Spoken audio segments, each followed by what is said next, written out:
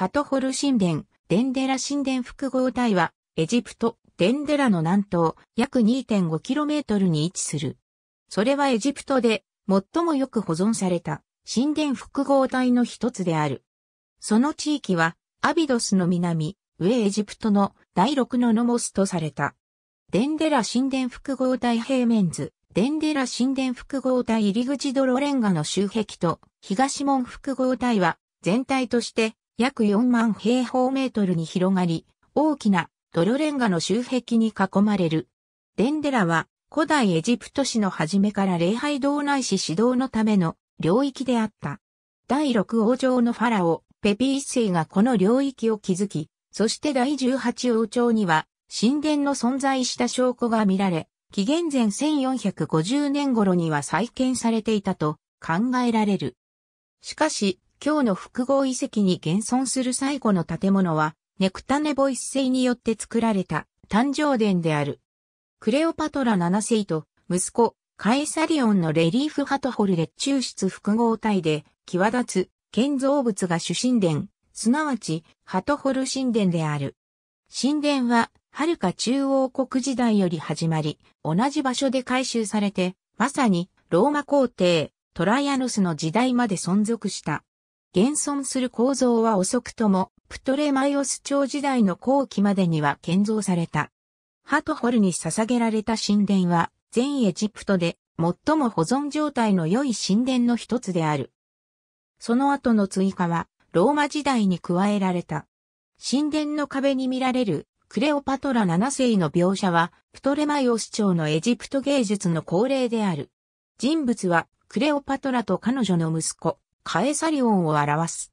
神殿外側の後部に、そのクレオパトラ7世フィロパトルと、彼女の息子で、父親がガイウス・ユリウス・カエサルである、プトレマイオス15世の彫刻がある。ハトホル神殿平面図内部18本のハトホル柱が立つ大列抽出は1世紀テベリウスにより増築されたものである。大列抽出への入り口正面は下部が壁として作られ、円柱の上部紙面にハトホルの顔が彫られた柱間壁により形成されている。ハトホル神殿、大列抽出の天井が、ハトホル神殿の天井は近年、その裏側にあった古代の塗装を傷めることなく、数百年間のクロイスが慎重なやり方で取り除かれて、きれいにされている。この清掃の結果、壮大な天井画が大列抽出に出現し、古代に遡る、最も鮮やかで多彩な色彩画のいくつかを現在に見せている。デンデラの王道体デンデラの王道体の彫刻は、後期のギリシャローマ風神殿で見つかったレリーフとして広く知られ、金牛宮や天秤宮などの継承を含んでいる。屋上にあるオシリスの小指導の前室天井にあった、このレリーフは、ナポレオンのエジプト遠征の間に素描が作成され、そして1820年には天井から取り外されて、現在はルーブル美術館にある。遺跡内のその天井部分には複製が備えられている。プトレマイオス朝のものとしたシャンポリオンの推測が天文学的配置からも正しいことがわかり、エジプト学者は現在、紀元前8世紀に年代を定めている。デンデラのネクロポリスは一連のマスタバ墓である。ネクロポリスの年代は初期王朝時代、古王国時代からエジプト第一中間期にわたる。ネクロポリスは西の丘の東端及び北の平野の向こうに続く。地下のハトホル神殿の霊廟は合計12部屋ある。いくつかのレリーフはプトレマイオス12世ネオス・ディオニソスの支配の後半の年代に始まる。伝承によれば地下聖堂は器や神聖な像の保管のために使用された。炎室フレームルームの床に開いた穴は、その中で保存される壁の彫像がある狭い部屋に通じる。第2の部屋では、レリーフは第6王朝のペピ一世を描く。彼は、ハトホルの4つの彫像で、遺碑の象徴像を守っている。越見の間スローンルームから達する地下室では、プトレマイオス12世が神のために宝飾品薬物を持っている。地下室にあるデンデラの電球のレリーフの一つ一、タイとなるデンデラの電球のレリーフハトホル神殿にあるレリーフはデンデラの電球として知られ、そのおよそ自然的要素から外れた命題のため、時に論争の的になる。エジプトのデンデラ神殿複合体のハトホル神殿に、あるデンデラの電球の継承は、5つの石のレリーフからなる。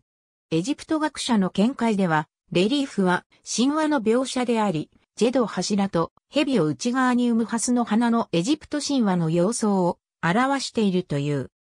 ジェド柱はオシリス神の背骨としても介される安定の象徴である。